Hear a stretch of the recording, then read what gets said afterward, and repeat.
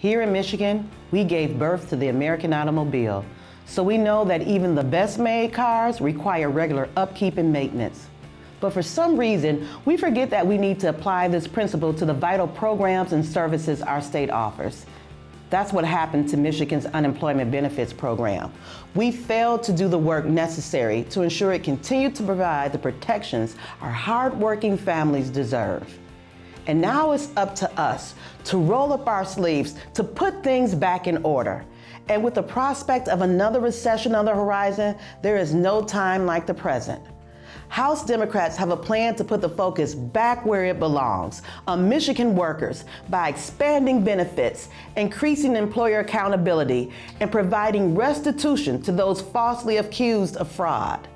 When families don't have to worry about just putting food on the table or keeping a roof over their head, they can focus on getting back on their feet and back to work.